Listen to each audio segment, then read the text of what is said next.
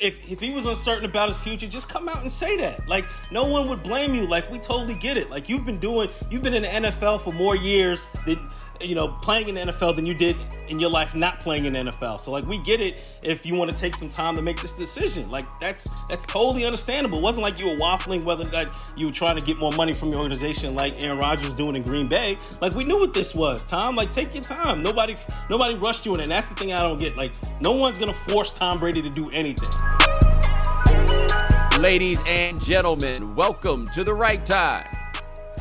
My name is Bomani Jones. Thanks for listening wherever you get your podcast. Thank you for watching on YouTube. Rate us, review us, give us five stars. You only give us four stars. I'm inclined to believe you are a hater. It is that time of week where we have a guest join us, our oldest friend on the right time when you really stop to think about it. Check him out on ESPN Radio on the afternoons with Chris Canty. I think I got that right. Shannon Penn, what's yeah, going on?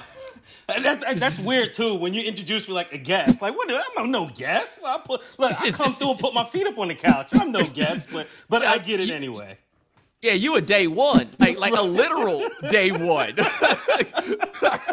like I help, I help move the furniture in the house. right, right. Forget about the fact. And here's one for you that I bet you hadn't quite thought about you and I have been doing radio and things like that together for 15 years. Oh my gosh.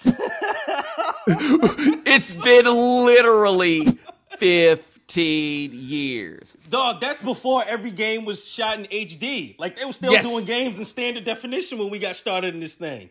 I think the first time we did a show was before I got in HD TV. Mm-hmm. Like, I, I think really think that. I think it was a big thing for us. We had a, a flat screen, like that was the hotness. Get, just get yes. a flat screen. It was it wasn't HD, but it was a big flat screen TV. wow. No, I, I tell people we talk we've talked about this many times, but for the folks who are new, Shannon and I worked together at uh 850 the Buzz and 620 the Bull in Raleigh uh, for many years, and then when I got the ESPN radio show, I was lucky enough to have him join and produced that show. And so when this moved over to podcast, he stayed over with ESPN Radio. But I think it was either the first show we did together or the second show we did together. We were doing uh, Sunday morning radio. And the thing mm-hmm. you got to understand about Sunday morning radio is there is somebody watch, watching, or excuse me, there is somebody listening on Sunday morning, but it ain't your boss, right? it's it's whoever happens to be in the car. But the bosses, they've had enough. They're taking the day off. So you basically do whatever you want. So one morning, Shannon had to pull for the bumper music LL Cool J's I'm Bad, which works every single time. Like if you remember in the last dance where they put that on, that's where I was like, oh, okay, we're not playing around. Like oh, this official. is yeah, this is an understanding. And so it came on, and we both got so hyped and so crunk while that was on. We basically read two verses of I'm Bad Run in the morning on Sunday Sports Radio AM. in Raleigh, North Carolina. Yes, on, on the AM on, dial. On the AM dial, right. Early Sunday morning. Like we were wilding out way too early on a Sunday morning, but it was all good though. Yo, the other thing about that show was is the homie Amnon came on before us. It was guys that had a computer show. Mm-hmm. And I just want to mention Amnon because I actually think this is one of the great stories ever. Like you meet people that is like this is just an interesting detail. So Nissan cars, if you want to go to their website, it is nissanusa.com. And you may be wondering, why is it not Nissan? And the answer is our buddy Amnon. So Amnon's last name is Nissan. Right. And so he and his brother had a business and they got Nissan.com first. And if you go to that website, it is all about how Nissan, the car company, has gone to the greatest lengths to try to wrest away the domain Nissan.com from our guy Amnon. Except they need to understand, if I'm not mistaken, Amnon was in the Israeli army. That man ain't giving up. Hell no! Look, Amnon's like, I do this. This is what I do. This is not a game. This is not a drill. Like I've been about this life. I've been waiting for this moment. I put my name on this literally from day one. You ain't getting yes. this from me. I love Damn for that. Like when I realized, like you go to that website, they ain't no, there ain't no crisis management firm involved. It ain't no PR. but if you want to know the fight that our buddy Amnon has had to put up against Nissan, you could go look it up. Amnon is fighting. It, and you know all the money that Amnon could probably get for that domain from Nissan, that ain't the point. Not, not happening. He's doing it on principle and principle alone. but yeah, man. So me and Shannon go way, way back in this. Um, and that actually reminds me because we're gonna get to talking about Tom Brady and his retirement. Mm-hmm. But um, what did you think of the way the last two weekends ended for Duke basketball? Oh my gosh, it was it was historic. It was and and it, and it feels too before we look, look back like just looking ahead with this real quick like the way that these last two weeks ended with them getting blown out by UNC and then losing to my wife's alma mater Virginia Tech in the ACC championship game had to throw that in there it just feels as though like this feels like one of these Duke teams that's going to lose in the second round. Like they're going to lose to one of these upstart teams or, or what have you. But but but going back though, like it's been amazing. Like for the Carolina fans to enjoy that, like it felt like it felt like a, a, a win for everybody, didn't it? yeah, dog. Dog. Because the thing is, like, I'm kind of a Carolina fan, but I realized I just hated Duke. Right. Like I went to Carolina for grad school, but I didn't like grow up as a Carolina fan. But if you come in hating Duke, you can jump on that Carolina thing real quick. But then I get away from it. I'm not around the same people and friends. And honestly, college basketball kind of stinks now. So, you know, I'm not really like in it on that. Man, listen, I went up to the Dork Fest in Boston because um, I was doing this interview with Calvin Johnson. And I'm riding back on the Amtrak and I didn't even make any plans around watching the game because I didn't think the game was going to be any good. And the last thing I wanted was a Coach K love fest, right? Right. Dog, I'm watching as that score keeps getting bigger in the second half. I ain't ne- I ain't missed Durham that much in the nine years since I left. I looked at that and I was just like, oh damn. And then Krzyzewski went out and embarrassed them boys in the post game press conference, right. and then they lost Virginia Tech to like legitimately raise the question: Did you lose your team by trying? You know, because your pride wouldn't let you just kind of fall back in that moment. But the reason I wanted to bring it up was me and Shannon got some history in having discussions about Duke, mm-hmm. and it is fascinating to look at what that program is now versus what it was when you and I were talking about it because it was a herb fest, man. And it was a herb fest to the point where the kids had started noticing, and the ones that didn't want to be herbs wasn't really trying to rock with Duke. And we were saying this, and you remember how much people will argue with us. And it, it's funny too because you, you, think about that. I, I, first name that comes to mind for me is Demarcus Nelson because Demarcus yes. Nelson went to Duke, but he was never at Duke. Demarcus Nelson was always at Carolina. like, look, I just ball there. I, I, just I just play ball there. I don't really I don't really rock with them dudes. Yeah, you know. no, he Demarcus Nelson was the one guy, and this is the thing that would happen with Duke is they, you know, you would have the stuff like every time the ref made a bad call, like everybody moves in unison, right? And doing all the super clapping and everything, and the walk-ons would be out there. But there would always be like one dude that was like, "Yo, what are we doing?" You know what I'm right. saying? Like, like, like, like, like, dude, the chair, no, we look like a bunch of herbs right now. You know, there's right. always be that one guy that's just sitting there. Demarcus Nelson for a stretch was that one dude just sitting there like, no, I, I don't. It's like, like what was, I stand for. Right. You would always have the one dude who's self aware enough to know like like what's going on. Like, hell, I'm, I'm trying to get to the league and let it be known. But but the rest of that herb activity that you guys are doing, no, right now I'm herb adjacent. And I ain't trying to really be about that life. And, and yeah. but, but to your point, like the way we talk about Duke and look at Duke, and more importantly, the way the Duke players look, it's, yeah. it's totally it's totally different. I don't think because I want to shout you out on game theory, but I think you brought up that great point too. Is like the way they looked the, the players over the course of time, it started to change. And Yo. so go ahead. This podcast is sponsored by BetterHelp Online Therapy. Relationships take work. A lot of us will drop anything to go help someone we care about. We'll go out of our way to treat other people well, but how often do we give ourselves the same treatment? Now, this month, BetterHelp Online Therapy wants to remind you to take care of your most important relationship, the one you have with yourself. Whether it's hitting the gym, making time for your haircut, or even trying therapy, you are your greatest asset. So invest the time and effort into yourself like you do for other people.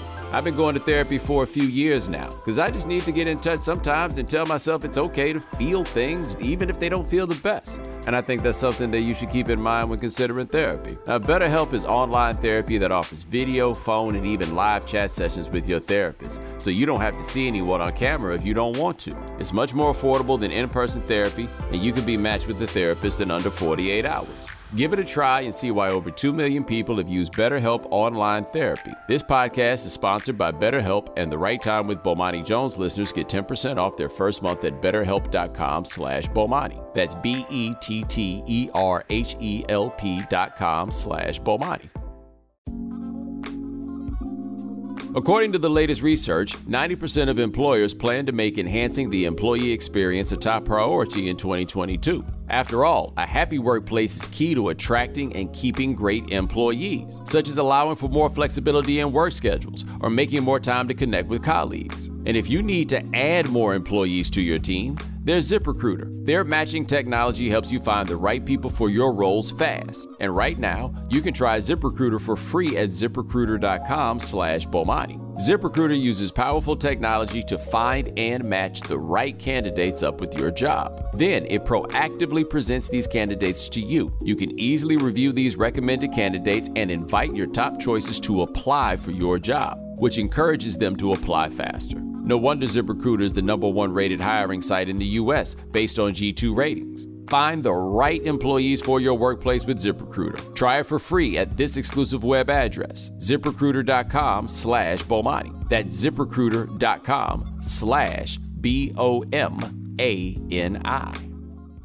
The big one, remember the How We Hoop video? And for those of you who don't know, go to YouTube and look up Duke basketball how we hoop. Because they had to they basically had to start a full-on campaign to let the young blacks know like hey it's fun to play basketball here. We actually go up and down. Like they had you know they had written all the benefits of the white stereotypes that had been put on them except it went too far and people thought they was out here like running the motion offense all the time. And they're like, wait, ho, ho, ho, ho, what do we do? What do we do? What do we do? We're a little torn. But I think this is maybe the most interesting part of it. They made the changes in who they recruited and how they ran their program. Right.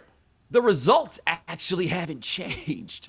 well, I mean, what K has won what three championships in the last what fifteen years or so, right? Am I am I am I is my math off? No, it's it's, it's it's three championships in the last 21 years. 21 years. Okay. Okay. 01, 2010, and 2015.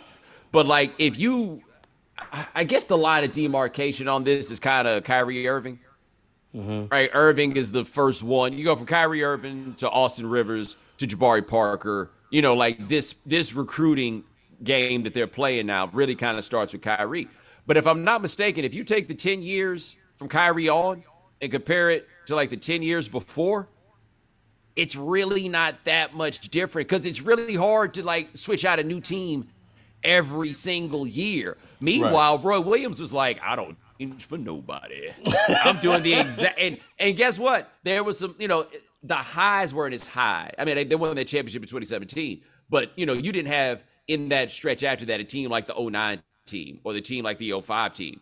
But right. the results still roughly the same. Right, right, and, and to your point too, and it goes. And you mentioned Kyrie, and, and I think with K and the philosophy even changed the year prior with the, with the John Wall late recruitment. You know, and and well, look, I, I got it. Yeah, exactly, recruitment because I don't think they really wanted him at Duke per se, but you had to give the perception that we were willing to recruit a player like this, a guy who was in our own backyard in Raleigh, and that we knew was going to be a one and done, but we were willing to take and and they got into it relatively late compared to schools like NC State and eventual Kentucky where John Wall went. Yeah. But I think that really turned the per- at least started to change some of that perception for Duke. Yeah, you know why I really wish that John Wall would have gone to Duke, aside from the fact that it would have been the most confusing thing ever. Fuck. Rock with me here, ride with me, ride with me. Okay, so John Wall, if you don't know, is from Raleigh. And I don't want to say because I don't know any of who John Wall's friends were in Raleigh. Like I don't want to pretend that I know exactly who he was hanging out with. However, if John Wall had gone to Duke, that means the homies is coming to hang out at Duke. And I'm telling you, John Wall didn't have no homies that went to Duke, right? That was like, yo, yo, I'm gonna see you there. You know, there, there wasn't, you know, me and you, we can go together there wasn't there, there I, I, feel very confident saying that right so that meant that john wall would have been the dude bringing his homies from around the way onto the yard except the yard is Duke. And I would have loved to have seen it. And you want to know why I would have loved to have seen it? Because the little known fact about the homies that show up on the yard is they do numbers. like they they hit the yard and they beat them bourgeois girls and they be making it happen. Don't ask me how, don't ask me why, but they be making it happen. Like people like, oh man, they probably be looking at them crazy till they not.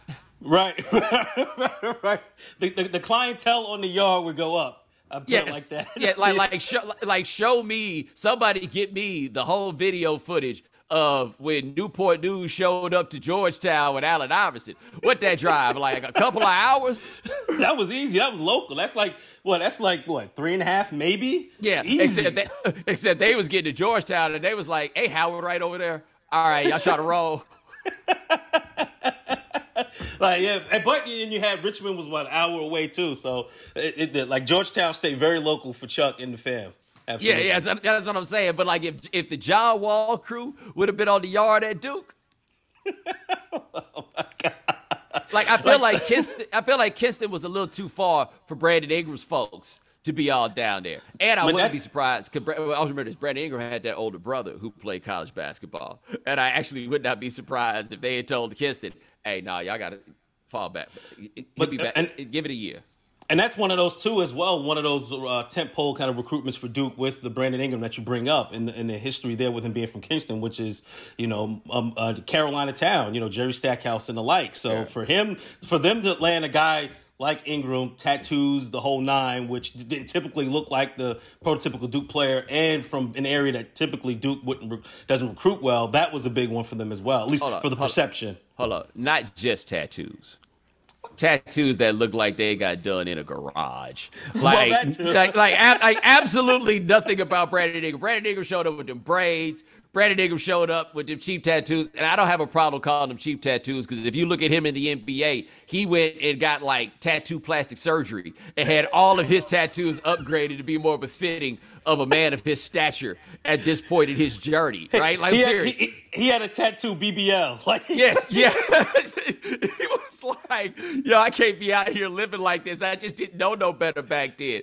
But when he showed up, I was just like, oh, okay, we going all in on. All right, okay, cool. You know what I'm saying? And, and props to them, by the way, for it.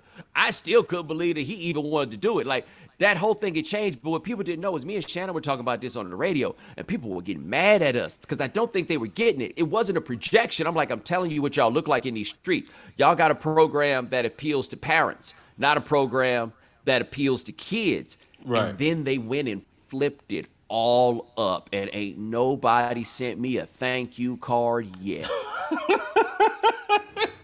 like you, you put the pressure on and you brought it to their attention. Nah, we so we need to give Bo his flowers right now for helping Duke. Matter of fact, yeah. we need to make you a recruiting assistant right now for what you able to do for that program. I mean, and look, I rose above myself. It ain't like I was out here rooting for him. You know what I'm saying? I wasn't like, yo, this is what we need to do to come up. You know, that wasn't my outlook at all on the situation. But it was. It was just like, yo, I just don't like. It's very interesting being in an area where college basketball is the thing because it's grown-ups talking about it and grown-ups especially with college sports. It's grown ups and I it's grown white people, and I specify white people because very often, like people like, I just don't understand why Texas A&M has never been able to get it together in, in football. Now, obviously, they got a little thing going right now, and the answer is: Have you ever talked to a black person about College Station?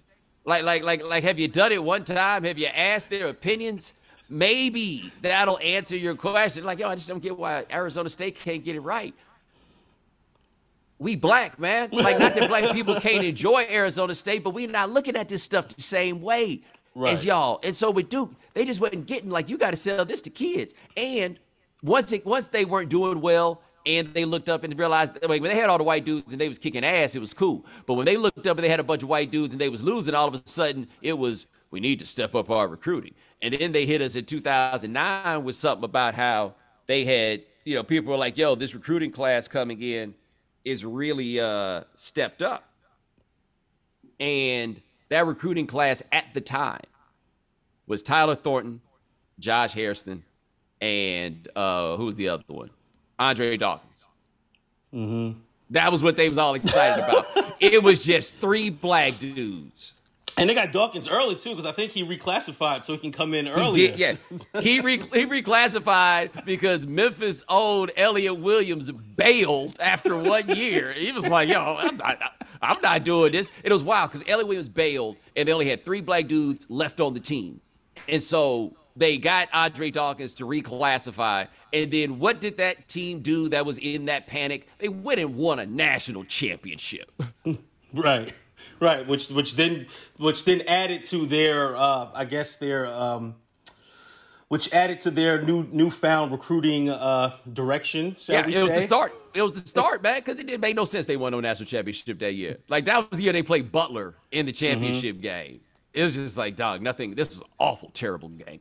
Not nearly as bad as the Butler UConn game the year after. So I, I did want to ask you though, as we're talking about college basketball and here we're on the eve of the NCAA tournament. Why do you think the perception or the excitement or the focus of college basketball isn't what it used to be? Because I like I find myself like I'll parachute here and there and on on some of the bigger games and obviously once the tournament. But as far as it being the the games being appointment viewing for me, outside of when Zion came in a couple years ago, I just haven't found myself as interested. Why do you think the, the shift has happened? Two things. One college basketball used to be the best players in the world under 22. That's not the case. The best players in the world under 22 now playing the NBA, right? The other thing is you don't develop any familiarity with these teams. You just right, don't. Right, because of so many of the one and duns. In, one and done. I mean, and now the transfer game is coming in or whatever. But there was something to be said. Like, think about this: Derrick Coleman who was like freshman superstar in 1987 when Syracuse got to the championship game. Derrick Coleman stayed three more years, right? We saw Christian Laettner play in four Final Fours.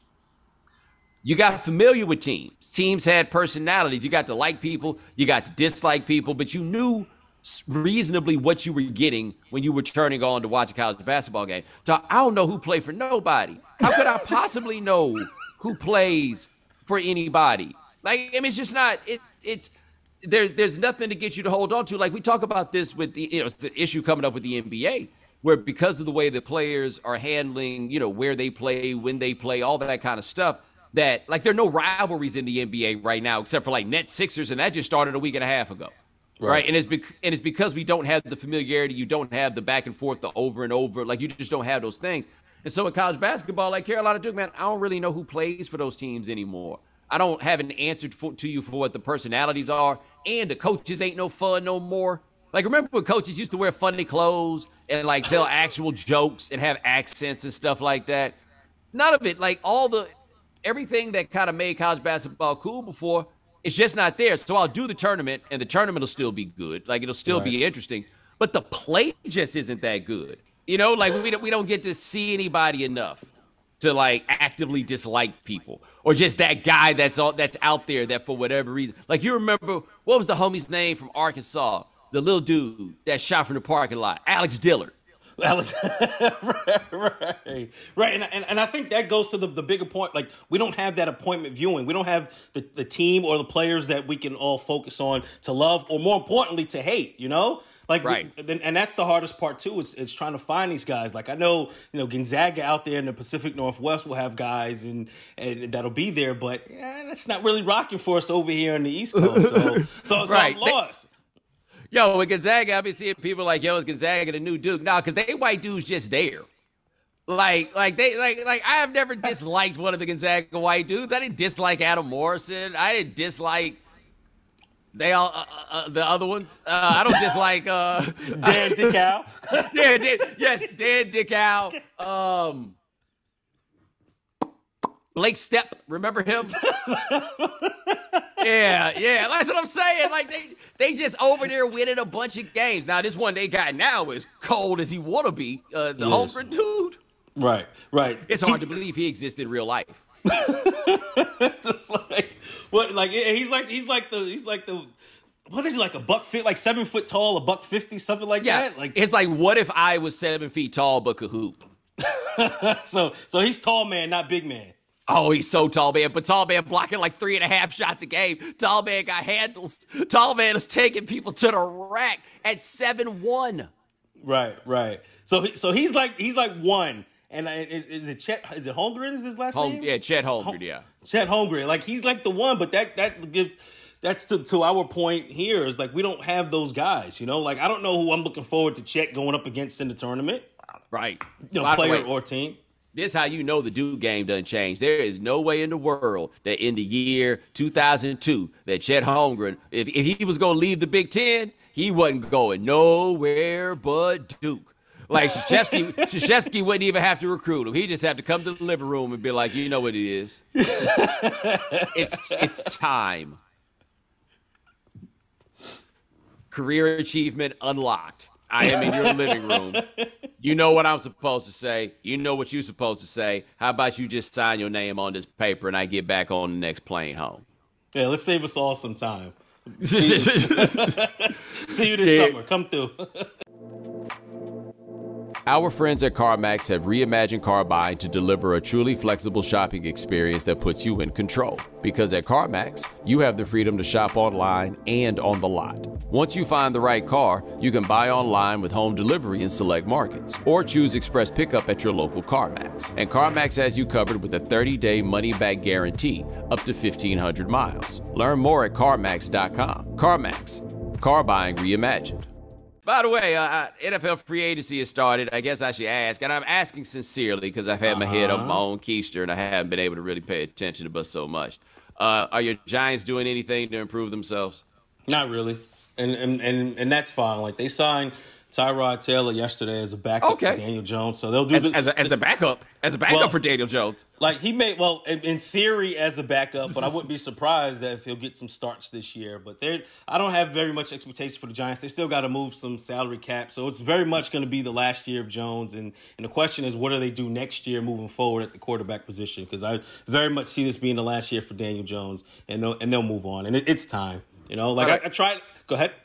No, no, you, you, you go. I want to. I don't want to interrupt. What was about to get emotional. Go ahead. It's Yeah, time. yeah, yeah. No, it's, it's time, you know. And I don't hate Daniel Jones per se. I just he was just never that guy. Like for him to be successful, you needed everything to line up for the Giants, and that was never going to happen. So you, Daniel Jones wasn't going to go out there and win games for you. You know, like he was he was you know a game manager who was quote unquote sneaky athletic, but that's about it. Very limited. They tried to go out and give him weapons last year. That didn't work. Now it's time to let him ride off in the sunset for this one last year. You know, get a jump start on the rebuilding process and go from there. But it can't. It can't keep. We can't keep doing what we're doing. Essentially, you know. Yeah, I, I tell you this though. Shout out to uh, Tyrod Taylor, your uh, your Hampton, Virginia homie, right? That man's reached that point of that high paying backup life, and that them's the kind of jobs brothers across industries typically don't get. You know what I'm saying? Like like like he he get paid eight figures to wear that baseball cap. Like like Chase Daniel just resigned and, and he's going to be a backup. I don't think he threw a pass last year, but with them Yo. checks cash. he the pioneer because when they gave him that crazy number, I think I forget who it was. Was it the Eagles or whoever it was where he was a backup or the Vikings? I think. It, anyway, one of them gave him like seven million dollars a year to be the backup, and that changed the game for the Tyrod Taylors of the world. So like, sh- shout out to him. He's bad luck every step of the way, all that stuff. But hey, man, that man done made seventy million dollars, and now he ain't got to get hit no more. They ain't gonna poke you in the, in the lung with no needle again, because you ain't even got to go out there to, to to to earn that money. You know what I'm saying? Look, you seventy mil. You got a ring as a backup in Baltimore. Like you coasted now at this point. Yeah. Like, I don't need to. I don't need to play. I don't need to get hurt anymore. Just cash these checks. Big win, big win. Uh, what were you surprised Tom Brady hung it up? I mean, uh, unhung it up. After 40 days, huh? He was like, that's that's it. Huh? After 40 days, right? Like, there's only so much trash you can take out. There's only so much, you know, uh, Netflix and, uh, and HBO Max you can get caught up on. he just sat. He just sat around. Was like, what the hell am I doing?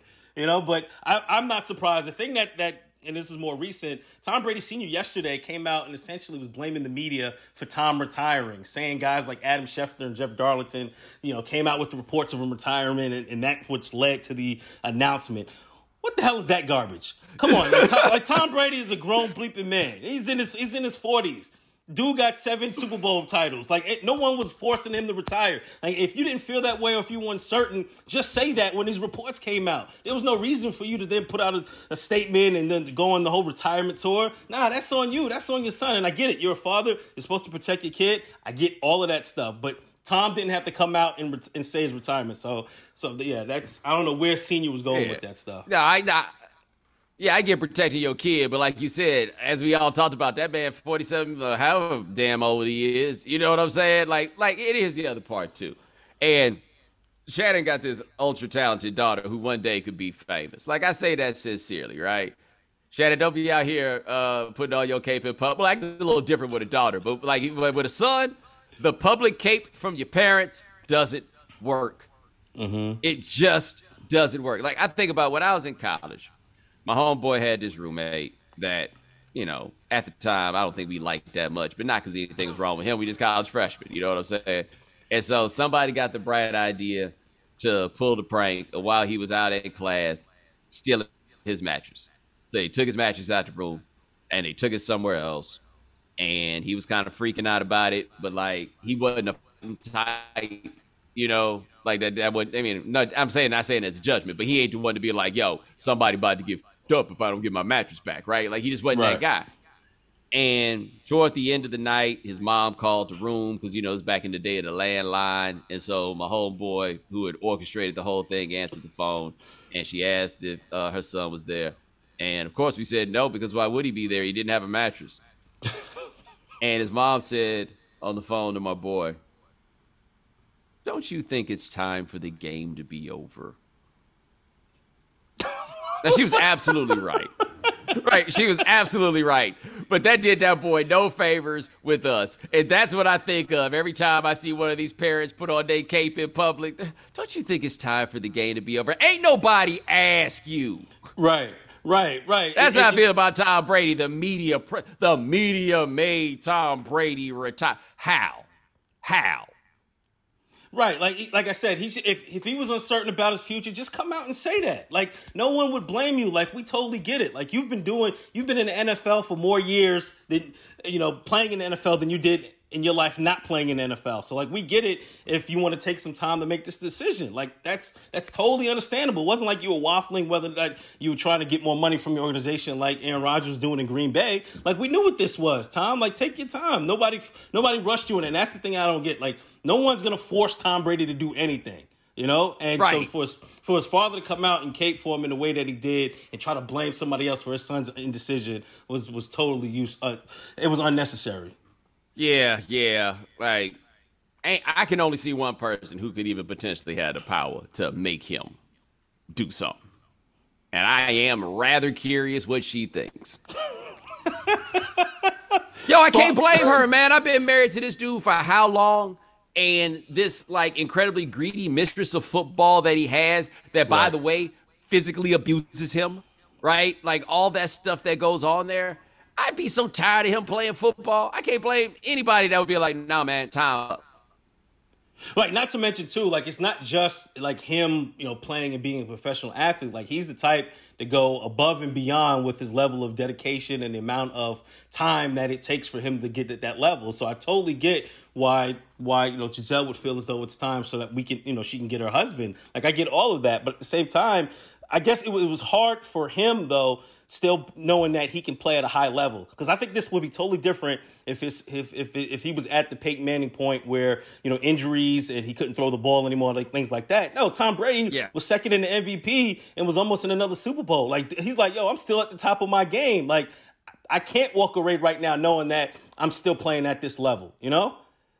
You know what he is? He's. It's interesting he's too old to be at that point where if he has a bad season, that he thinks, oh, okay, I can turn this around. You know what I'm saying? like, like, like he is beyond that age. And that to me is what is crucial. Is that he is not at that point where he could just say to himself, like, if you're like 37, 38, like somewhere in that range, that's where you. Oh, sorry, I had to make sure my uh, my all my stuff is still working. But like, if you at that age, that's where you have a bad year and you're like, nah, I just wasn't healthy. mm-hmm. but I can turn this thing around. You have a bad year at 45. You, you, no, no, that's just what it is. Right, right, and and and, and too, like, and, and, at least one thing I do appreciate from Tom Brady, like with all of this, is we we're not really getting the this is the best I've ever felt in my career. Like we're not getting that, you know, because because that once somebody says it's the best that they felt in their career, oh, they're donezo. It's like, over. That is it. It's, it's over. it's over. It's over. I'm in the best. I'm, I feel like I'm 30 again. Uh, but the thing is, with Tom Brady, Tom Brady's like I always feel like I'm 25. I have the TB12 method.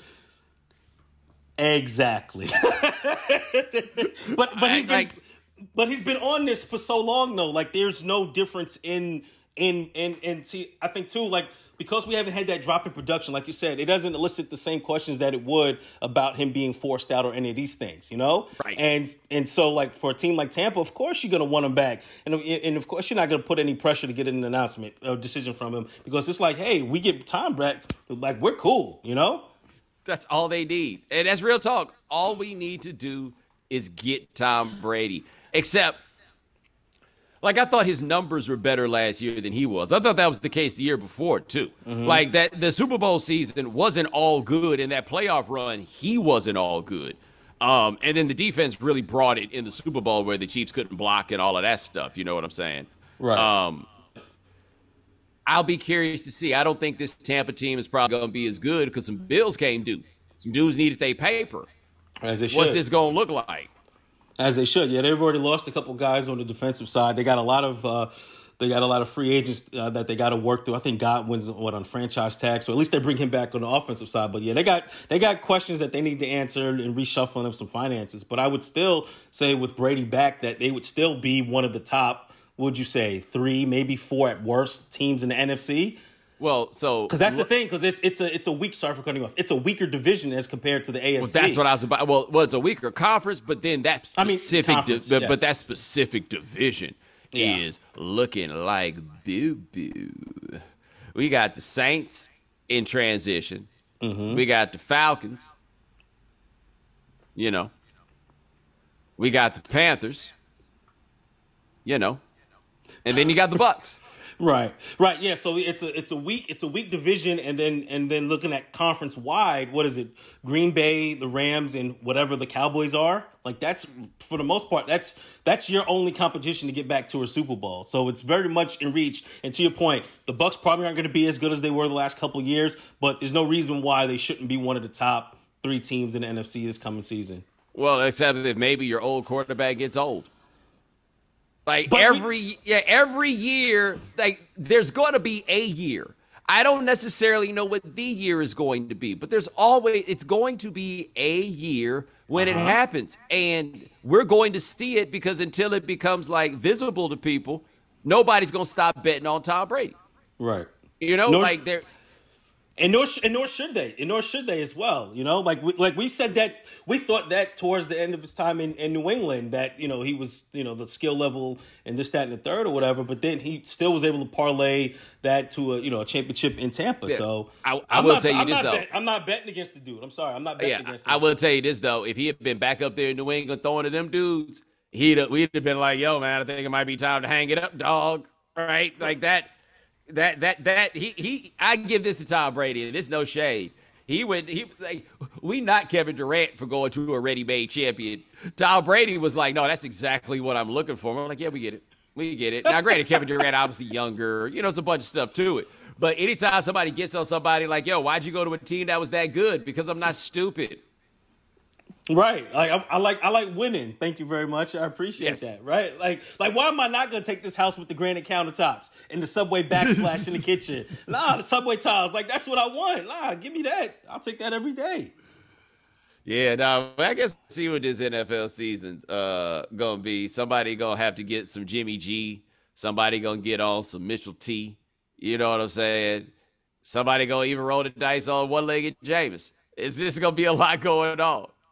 And and that's the weird thing too. Like throughout this offseason, talking about the quarterback position because we talked. There was a, actually a debate yesterday about whether or not you know Deshaun Watson is a top five quarterback, and people were saying how tough of an argument that is, looking at how the top quarterbacks in the league. But then once you get past that top seven ish quarterbacks is a steep drop. And, and, the, and the quarterback play, as we're seeing, like with some of these names thrown out, with the Mitchell Trubisky's of the world and, and the Jameis Winston, like it's the quarterback play is not as great as you would think. Like, yeah, they're the elite guys, but after that, it's a lot of meh.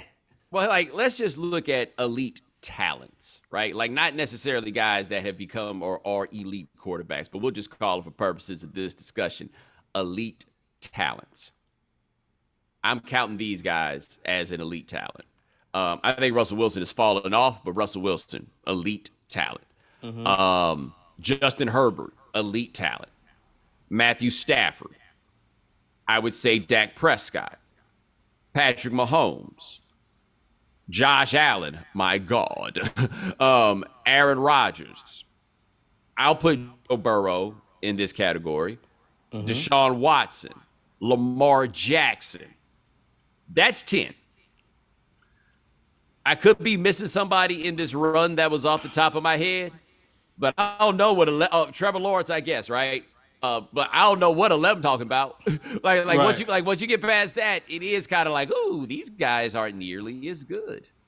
Right, and there's still a lot of court, court, uh, question marks, like a Kyler Murray who, who wouldn't be in that yeah. top ten. But yeah, I think he you, might, but he's an elite talent. I'd say elite talent, absolutely. You got to see a little more consistency from him, but he he's at least there. But like the drop off after that, like it is a steep drop, and and that's why you got some of these guys who are going to be propped up, like like Jimmy Garoppolo, you know, game manager at best, probably backup, but he's going to be somebody starting quarterback next year because the landscape is just not that great.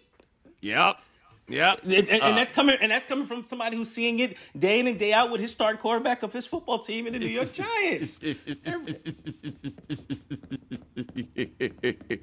it's so different than when you were a kid. Oh, oh gosh, uh, like we had with, with Phil Simms, and and you know even later on with Eli once he you know figured it out during the playoff runs. Um, but yeah, this this with this product right now. Mm, mm-hmm. Hey man, let me ask you right quick as we wrapping up. Did you get a chance mm-hmm. to check out uh, the homies' uh, show on HBO?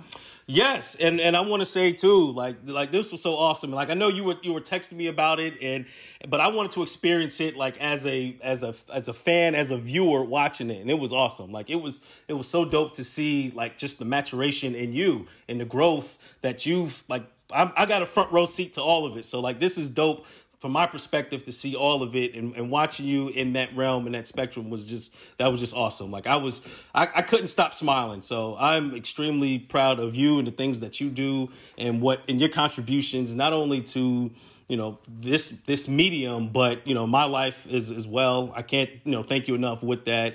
And i know it sounds cheesy and all that stuff but dog i'm so proud of you my man Dude, I appreciate it, and I wanted.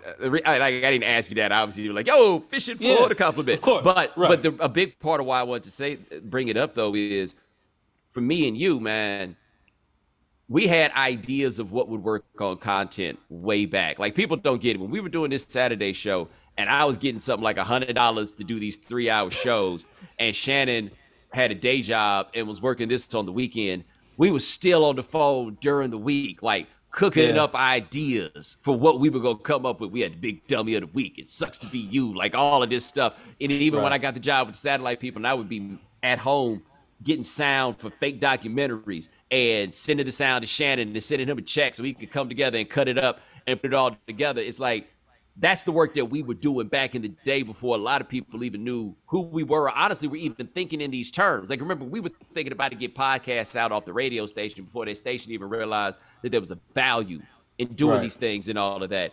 And when I looked up at that show, I thought about us because, like, we we really started cooking this up on Saturday morning. You know, we right. really started cooking this where we treated that Saturday morning show like it was an afternoon drive show, mm-hmm. and that's the that was like the best lesson for me on any of this was that like if you love it, you just do it like you love it, mm-hmm. and that's what we did. I always, man, thank you, because that and, like, and, and if, we ain't doing this like this otherwise.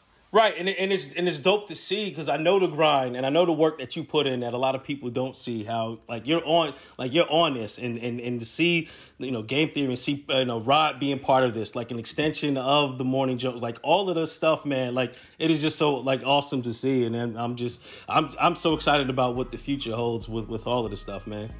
Dude, I appreciate you, man. I thank you so much, and that is Shannon Penn. Check him out ESPN Radio in the afternoons with Chris Canty. It's a very technical description. Also, I believe the type. Uh, my man, thank you so much. And ladies and gentlemen, thanks so much for watching on YouTube. And thanks so much for listening to the right time. We do this three times a week. Gabe Bassane and Adi Khan handling things behind the scenes. Thank you, gentlemen. Remember, follow the right time. Rate us, review us, give us five stars. You only give us four stars. I'm inclined to believe you are. Hey, we'll talk to you guys in a couple of days. Take it easy.